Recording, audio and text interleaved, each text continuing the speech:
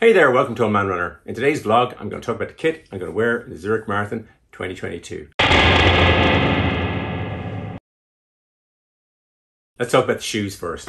So I'm going to run in these, the On Running Cloudboom Echo.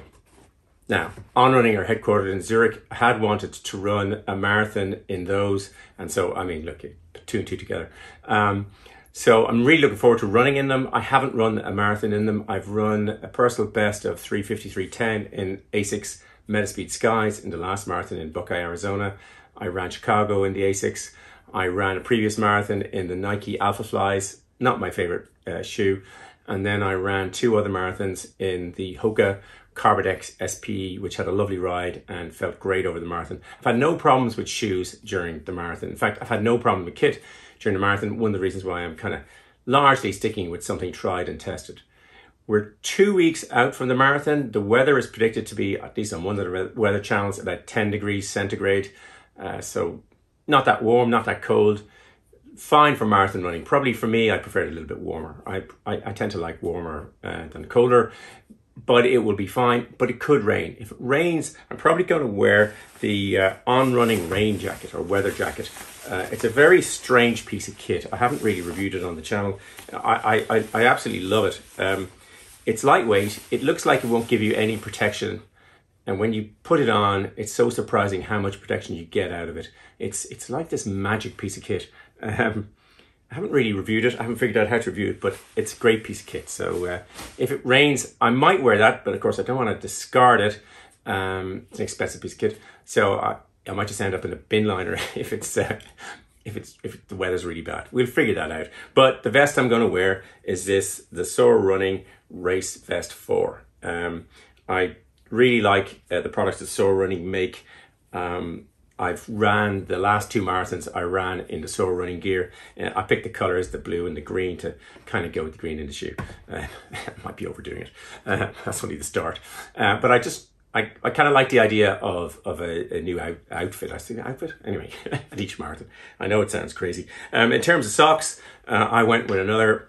I thought I might run in these. These are the Soar running socks um, in the same green and blue as it as is on the uh, top um, but I probably won't run in those. I, I ran in a 5k today. They're lovely socks to run in, but they might be just a bit too high for a whole marathon. So uh, I'm going to go for this on running. It's their uh, mid sock. It's a really nice, comfortable sock. I, I ran the Chicago Marathon in a pair of these in red, and I had I had considered. I still consider these ones, which is the um, it's the low sock. There's the mid sock. They're identical apart from the height but I'm worried about chafing around my ankles. It's been a problem occasionally and I'm hoping that doesn't happen. So I'm, I'm going to do that. So that's the, that's the top and the shoes. So what's happening in the middle? Well, I'm going to wear these. These are the Satisfy running shorts I ran in Chicago.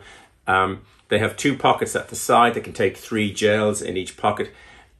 Not well in my experience. I use typically Maurten's gels but if you put three in, they sort of don't feel all that secure. There's a zip pocket at the back, which I find essential for room keys and stuff. Okay, okay, I'm going to be staying in a hotel. If I lose a room key, it's not the end of the world. But there's two little loops of the carabiner on this one. Um, there isn't on this one, but you can attach keys if you had cars, etc. They're not as lightweight as I expected. Um, strangely, just the the the waist is it's really complicated. What's going on? I'm not quite sure. There's sort of two layers. Um, and, and I think the waist is overdone. There's a slot to take the phone in the back, which is important for me. Uh, I ran in Chicago in these, so I, these are race tested.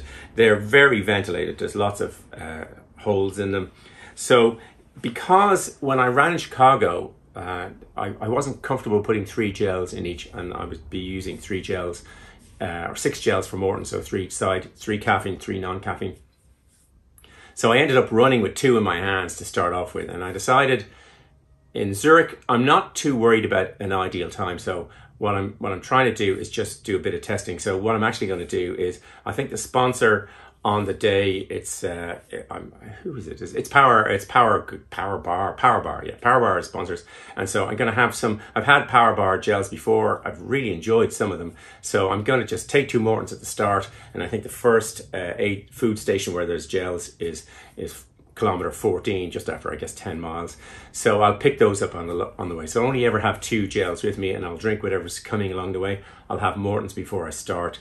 Um, so all of the kit that I have is tried and tested. If it's dry but cold, I might wear some arm sleeves. So these are uh, blue on on running arm sleeves. I've got um, I like arm sleeves, um, but particularly you know when you heat up in the marathon, you can take them off and you can stuff stuff them in the pockets. I also have a pair of I think they're elite version in black. They're super super comfortable, but I I really expect that if the weather is okay, and I mean sort of okay, I'll probably just run in a singlet. I mean, you will heat up in the marathon.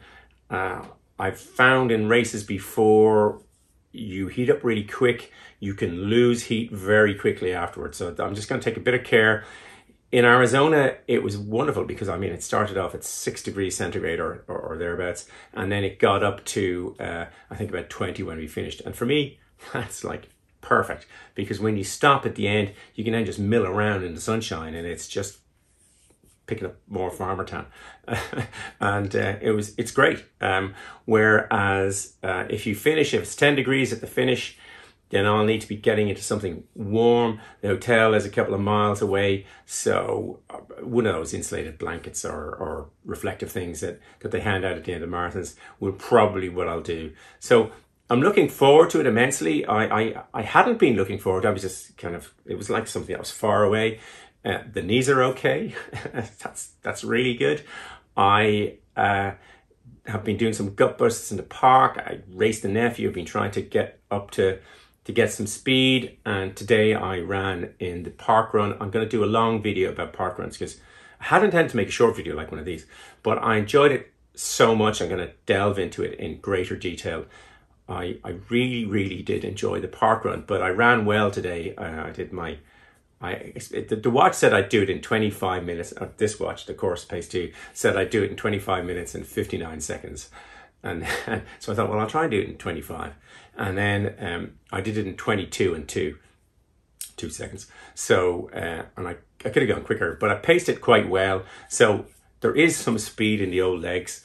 So yeah it gave me a lot of confidence heading off to Zurich. So that's in two weeks. So there'll be another I'll do another one of these next week. Not sure what about we'll figure it out. There's lots of stuff to do to before I get there. But yeah here we go. Thanks for watching see you next week